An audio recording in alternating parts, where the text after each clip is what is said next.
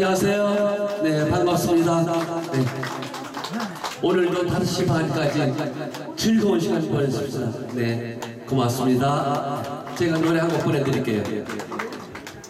한국 값안 돼요. 노래 잘하시죠? 인물 좋지요. 여러분한테 잘해드리죠. 네.